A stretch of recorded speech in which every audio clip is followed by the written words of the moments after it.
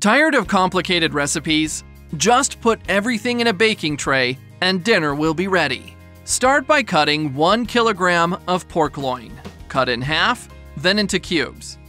Next, transfer all these cubes to a large bowl.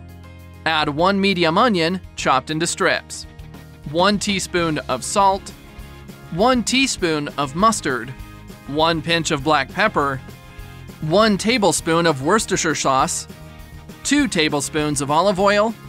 Mix until the spices have incorporated, and set aside for 20 minutes.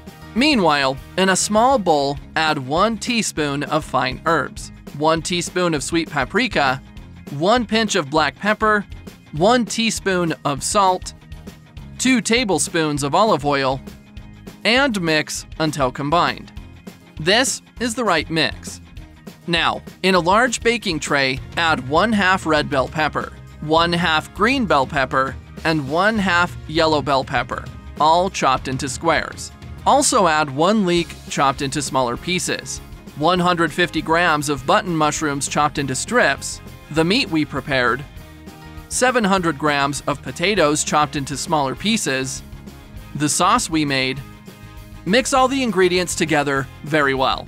Leave us a comment with the name of the city from which you're watching this. I'd like to give you a shout out and thank you for sharing this recipe. Cover the baking tray with aluminum foil. Take to a preheated oven at 200 degrees Celsius or 392 degrees Fahrenheit and roast for 30 minutes. Meanwhile, in a medium bowl, add 200 grams of shredded mozzarella cheese, 2 tablespoons of mayonnaise, a 200 gram cup of Brazilian cream cheese, 1 whole egg, and mix until combined. This is the right mix.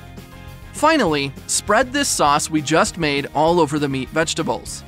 If you've made it here, that means you're enjoying our recipe, so click the share button and share this video with all your friends. It won't cost you anything, but for us, it will make all the difference.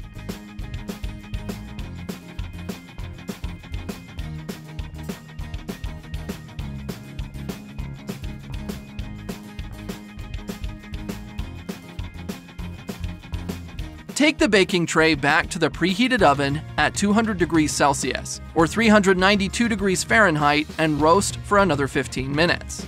That recipe is ready. You may now serve and enjoy it. I really hope you liked this recipe. Now I'll head back to the comments section and will continue to answer everyone who left the name of their city. And will also thank you for sharing this recipe. See you next recipe. Bye!